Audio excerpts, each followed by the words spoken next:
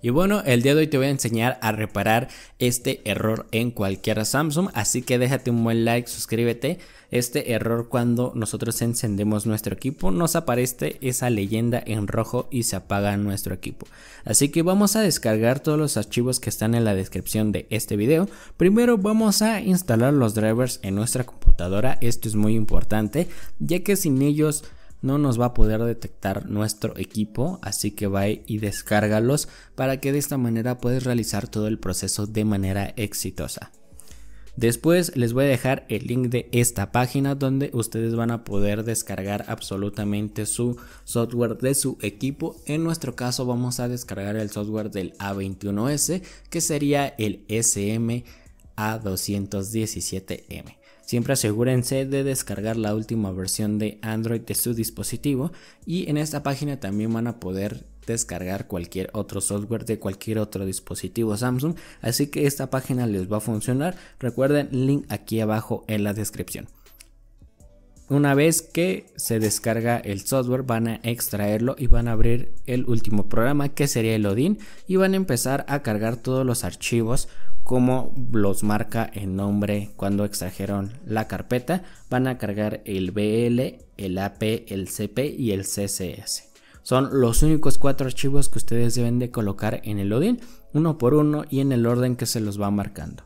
El AP siempre tarda un poquito más en cargarse ya que es toda la parte del sistema operativo, así que tengan un poquito de paciencia.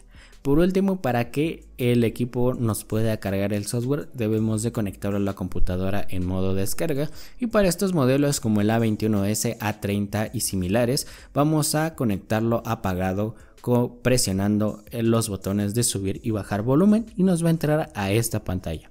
Previamente subimos con botón de subir volumen para confirmar que entramos en modo de descarga y si tú tienes algún equipo que a lo mejor todavía tiene el botón de home eh, para entrar en modo descarga es con el equipo apagado presionando volumen abajo, botón de home y encendido y de esta manera podrás ingresar a modo descarga. Después que haya cargado y conectamos nuestro equipo a la computadora, le vamos a dar en Start y va a empezar a avanzar lo que sería el Odin cargándole el sistema operativo a lo que sería tu dispositivo Samsung.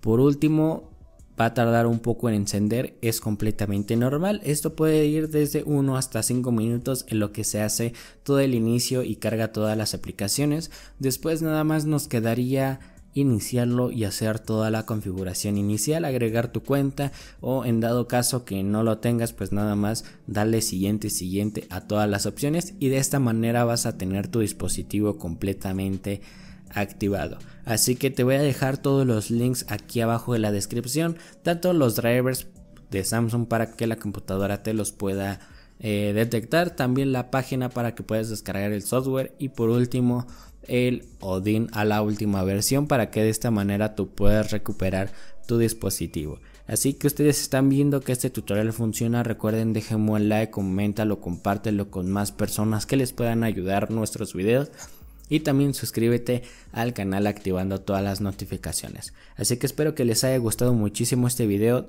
Por mi parte ha sido todo el día de hoy y nos vemos hasta en un siguiente video. Así que se cuidan, nos vemos hasta la próxima.